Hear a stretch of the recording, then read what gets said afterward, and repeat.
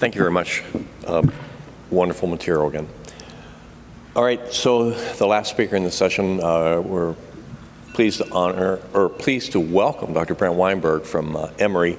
He's going to be talking to us about YouTube, uh, another uh, little cog in the social media wheel. Brent. All right, thank you everyone for coming today. Thank you to Christine and the organizers for putting this together. Um, you know, I have a couple disclosures.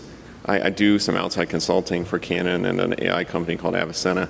I do get a little money from YouTube actually too, so if you go to this after this, I'll get like a 40th of a cent. Um, and so we'll talk a little bit more about that later. Um, my other disclosure, this is my first time at this meeting. I'm at best a C plus head and neck um, neuroradiologist. I teach it at the remedial level for our residents. They love it because I read it at their level. Uh, so it's great that I've been able to learn uh, some from the boot camp and everything here. My goals for today are to kind of introduce you to what online video education can achieve, particularly in the context of YouTube, tell you a little bit about my experiences over the last couple of years, and kind of inspire you to think about can you do uh, something like that, or is there something that you uh, want to do? I think it meshes really well with the talks that we've already seen uh, this morning. To give you a little background, like how did I get started on this? In 2016, I finished my fellowship. I had some teaching materials. There were things I was constantly referring to things about when you might do a blood patch, like things about uh, anticoagulation guidelines and things like that. And so I put it on a small website called learnneuroRadiology.com. And I noticed that people were kind of viewing it, but uh, it's, I sort of like, sort of languished for a couple of years. But then in 2018, I had a couple of lectures I hadn't given in a couple of years, and I was like, well, maybe, you know, people would want to see them. And so I posted a few uh, short videos. One was a neuroradiology lecture called Basic Radiology, and it's exactly as basic as you think it is because, like I said, I'm a remedial radiologist. And uh, I kind of broke some lectures into some small pieces and uh, kind of posted it on YouTube, kind of co-linked it on the website. And then uh, it was really just a small effort, like kind of a side thing I did like on a weekend. And then in about the first 20 months, people were watching these videos that I thought were dumb and like wouldn't wouldn't generate a lot of interest. And in the first year and a half or so, like these videos got about 50,000 views. And I've I did a PhD, I wrote all these papers. I guarantee like nobody has seen the papers that I wrote 50,000 times. And so it was interesting to me to see like like sort of what was what was available out there. And so I, I you know started doing like a little bit more and uh, to my surprise, like people kept watching, right? And this is like a, a, GIF that YouTube sends you when you get a thousand subscribers. It says like this is bananas and like has animated bananas, and that's exactly how I felt. I was like, this is bananas. Like that, there's like who are these nerds, and uh, and kind of like where are they coming from? And but it kind of inspired me to do it more, right? Because I was like, well, the people are watching these, and so so I'll do it more. And it, you know, kind of doing more videos. It's like, well, you can you can actually get more subscribers and there are people out there. I continue to wonder like who are all these people? Um, because YouTube is like inspiring you. It's like you have now 25,000 hours of watch time. It's like that's a that's a lot. Like I, I think you know there's a lot of people. Now the the channel has kind of grown to over 20,000 subscribers. It's kind of crazy when you think about it. There are not 20,000 people at this meeting. There are 20,000 radiologists in the U.S., but not by a whole lot. Um, a lot of it's going to patients, uh, people who are techs, people who are just interested in the topic, neurologists, um, ENT surgeons, those kind of people, you know, they're watching videos and like you kind of, kind of see this. Um, so now I'm going to kind of focus for the last 10 minutes or so on like the 10 of the lessons that I kind of felt like I learned. Um, there is a demand for online video education. Like, and I saw this, I discovered this by accident myself. Um, I think for a long time in medical education, we have ignored people who don't learn from traditional methods. We have like given people books and said like, go read this book. Like you should be reading for three hours a day, even though we know people aren't doing that. Um, but like I said, videos reach a different audience. It's people who learn differently. It's people maybe who you aren't seeing in the reading room. Uh, people who may be at residencies that don't have the caliber of education from people who are presenting at this conference and things like that, other medical specialties who don't have the opportunity to learn uh, with, with great radiologists in the reading room. I, I don't mean to insult like uh, Dr. Manister, but like this is how we're using uh, books these days. Um, you got to get that side monitor to the same level as your PACS monitor. Um, you know, I'm sorry, Dr. Barkovich, pediatric neuroradiology book that I bought is on my shelf, still in the plastic. Um, not everyone learns from books, and uh, I, I, think like the era that we're in, we need to uh, uh, we need to meet people as we are, as we heard, it, or meet people where they are, like as we heard in the previous lecture. Availability and organization, like, are really key to getting people to watch it, right? Like, and I think free or inexpensive is huge. We see from Radiopaedia like how important that is because it's really changed the way our residents look up things. Like they mm-hmm. know that if you want to learn about you know incomplete partition defects, the way to do it is type incomplete partition Radiopaedia in Google, and like that gets them exactly where they need to go. Ideally, you want to show up like in the first page of searches, and preferably you don't want to be behind a paywall. This is uh, if you search for neuroradiology videos on YouTube. Um, you know, by, by getting proper tags, like posting frequently, having things labeled, uh, you can see the site is actually has about six uh, links on the first page. And so people go to the first page, they don't go to the second page. So if it's behind a paywall or it's not showing up there, it's not going to work. You can look, you know, you, uh, Google has sort of a search console where you can see, like, for individual terms that people put in, where does your site, where does your site show up? And, you know, you can see, like, if you look at a neck radiology here, you know, I show up at 6.6, which for me is pretty good, like I said, as a C plus uh, uh, head and neck radiologist. Uh, but, but I think it's important to keep track of these things and like try to be available, uh, try to be on that first page. Frequent updates, clear tags, make it available uh, can really uh, give you high search results. A counterexample to this, and I don't mean to like dump on our societies, but RSNA, they, they did this attempt to like open a case collection to kind of I'm going to say it's a Radiopaedia competitor. They wanted to have like high quality cases that people could look up. It was behind a membership paywall, or you could see like a little bit of the case and then you had to log in. Spent a lot of time. Many people in this room were probably like associate editors because there were like 70 associate editors. People spent a lot of time and then they just abruptly shut it down because it wasn't getting the views that they wanted. It wasn't getting the traction that they wanted. And I, I, was a little upset about this because you know we spent a lot of time trying to build this up. Uh, if you don't make it available and it's not there, it will it will not succeed. So if you're in the leadership of a society, just just think about that a little bit. Try to make it easy to find. Try to make it organized by topic. Have text descriptions. Like if you're doing a video, that's how it gets found, right? Like the video. Well, I was going to say the video can't search what you're saying in the video, but it actually does that too. Uh, but, uh, but if you have text descriptions, that's helpful. Um, this is a little video from the companion website, right? And like, so this is, you can check it out at some point if you want, but everything is kind of organized. Like you can kind of go through by the menu. We have some courses. For topics, you can like scroll down, you can click head and neck imaging. You can see all of the video posts like by topic, you can click head and neck, sort of organized by what level you are, like if you're a medical student. If you want to search, like say you want to search for temporal bone, you come down to the bottom, you type temporal bone, and you can see which videos are about temporal bone. You can see one about search pattern, one about pathology, so you can kind of find things uh, easily, which I think is, is super important. Attention spans are super short, okay? YouTube will tell you how long people are watching videos. This is the average watch duration, like over a period of a year. So this is like uh, in, for the last 365 days. You can see this graph has gone up and down a little bit, but it is basically the same at 3 minutes and 16 seconds. That's what you get. I've been talking like for nine minutes now, like six minutes just into the wind. You guys have heard nothing. Um, just keep that in mind, like when you're making a video, right? Like, or if you're doing something like that, keep that in mind We you're giving a lecture in a room like this. Like, you had three minutes to like get your impact, um, and this has not changed. No matter what kind of content it is, three to four minutes. Maybe people watch like cooking videos for longer, I don't know. Uh, you can see you lose most people in the first 30 seconds.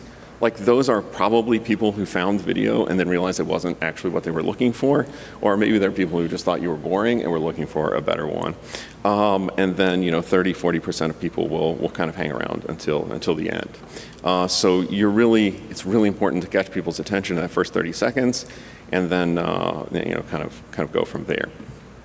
Well-designed content performs better. This is like the dumbest advice I've given you. Better videos do better, right? Short, that targeted time of three to 10 minutes, introductory level videos perform much better than high level or you know very detailed and uh, sort of high level videos targeting them to an online audience is, is super important as well. Uh, because you kind of, if you have some, if you kind of think about who's watching and, and not just have it like you would deliver in a room, in a room like this, taking a one hour lecture that you gave uh, to residents, it typically doesn't work. It doesn't have the energy level that you're trying to deliver. It doesn't catch people's attention in that first 30 seconds. It tends to just, uh, to just not work. Here is uh, just, this is sort of the head and neck, some of the top head and neck content that's on the site. Um, you can see if you look at these, you read the titles, they are the simple videos, okay? How to read a sinus CT, laryngeal cancer staging in five minutes, temporal bone search pattern. These are simple videos are what people are looking for. And you think about that because the people who are reading or watching these videos are first year residents, trainees and other specialties. They're looking for introductory and basic level content. Uh, but targeted and short and short videos can really be, can be successful. If you're doing this kind of thing, you're going to need help. Like I said, I'm not that great a head and neck radiologist. I want to give a big shout out to Katie Bailey, like one of my colleagues who works at uh, University of South Florida. She's helped me a lot with head and neck content, has really made a lot of the head and neck videos. You can expand your expertise by enlisting your colleagues. I know I'm not great at it. I learn from the videos, like I, I, you know, edit them to put them on the site, and I learn something every time. And so reach out to people and like and help uh, help yourself by by getting help from other people cross promotion and consistency are important. Like if you do it frequently, uh, you will get more attention. Like there's an algorithm, right? And if you post on Twitter or social media, if you post frequent sites, you can see like this is views over time. You can see like little bumps like here and there. And this is the number of videos posted in that time period. So posting like clusters of videos leads to bumps. And so that, uh, so if you can do it consistently, do it in clusters like that is, uh, that can be helpful over time. I simultaneously post everything, like I said, sometimes on social media. Everything is sort of cross-linked on the website. That tells the algorithm that this is like legitimate content because it sees it uh, in other places and helps people find it. There are free or inexpensive tools for editing videos if you want. You can record in Zoom. PowerPoint has recording tools. There's a free uh, recording, screen recording tool called Open Broadcaster Software. Uh, you can download that for free. You can use it. There are free video editing tools. At this point, I actually use the Adobe editing tool, which is not free uh, because I, I, use it enough. But uh, you can actually do this with like a relatively low cost. And uh, the real cost though is your time, right? Like it may take you, it may take you hours to do, uh, to do some of these things. Uh, I think like on average, like to make a five to 10 minute video probably takes five to 10 hours or three, it takes a long time because you have to make the content, you have to, uh, you know, edit it then, so it's appropriate length and kind of make sure it's, make sure it's ready. You can make a profit, okay, but a small one. Um, YouTube does allow monetization, like after you have 10,000 uh, view hours and 1,000 subscribers. Um, you can you can have like brand links. Like I, I, link to you know I trash books, but I do link to books on Amazon. Like and tell people like if you if you are a book sort of oriented learner, like you know, you can get some, uh, some things for that. You can charge for subscriptions or premium content. I have not done that for a couple of reasons. Like one, I'm committed to open education uh, for students and, and learners in the US, outside the US. I think a lot of the views come from people who don't have resources in countries that don't have the resources that we have. Uh, so I think that that's, uh, that's important. Um, this just kind of tells you, I mean, so you get about $4 per thousand views on YouTube. So that 40th of a cent is about right. Um, so I can get about $125 a month from YouTube after six years and thousands of hours of labor. Um, but you know, I spend that money. I spend it on the web hosting. I spend it on the software. Uh, my goal is like not to lose money, right? Like I, I, because at first I was spending my own money like for these things. I'd rather not be like shoveling money like in a fire. uh, but uh, you know, I'm not getting rich off of this. I saw a news article today that Selena Gomez is a billionaire uh, because of her, you know, social media promotion of her of her makeup. I just aspire to that, but there aren't that many nerds out there, I guess. 30,000 is a lot, but it's not enough. I need like 400 million. Um, this is my favorite slide here. There's going to be some haters. Uh, mostly they're centered around my voice. I, I, don't, I don't know what that is. I'm going to read some of these because I think it's funny, and, uh, then I'll, I'll kind of wrap things up here. The language is a little bit salty, so this is PG 13. The voice no good isn't clear. Okay, fair enough. Irritating voice. Why are you trying to talk like a robot? Please talk in a normal voice, it would be more helpful. You see, I gave it a thumbs down. I was like, that's not good. Can you please stop eating the mic? The mic is not edible, and I can't understand a single word you're saying. Or get your throat checked. I think you have laryngeal cancer. I think this is the right, the right audience here. Uh, it gets worse. I hate your voice shit. Um, yeah. Um, you sound like corpse. From a guy who's using Donald Trump as a picture. Um, and then my personal favorite, great video Vader uh, for those uh, for those Star Wars fans out there. Um, anyway, um, there are serious criticisms, right? There's areas for improvement, right? Like there's an argument that videos promote a superficial understanding, right? That you can, uh, as opposed to books. I kind of think that we overestimate how much time people were spending reading articles and books, and it kind of overlooks different learning styles, but I think it is a legitimate critique. I think you can critique that there's not enough high level content uh, in video format you in this room can help fix that, right? Like you are the experts, like our societies and individual experts can help fix that.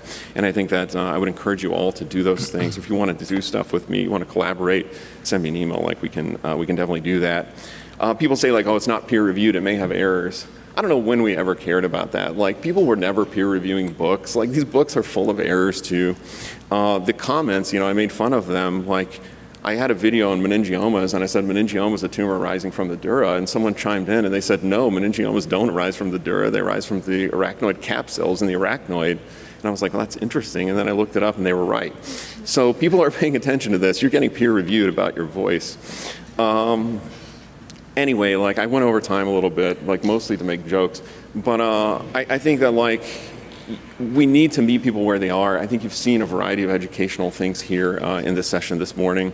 And uh, I think it's been a great session. Hopefully this inspires you to think about like how can you go out and spread your message like a little bit broader? How can you, uh, can you distribute knowledge to people who aren't, who aren't getting it otherwise? Uh, so thanks for your attention and sorry for going over time to read stupid, stupid comments.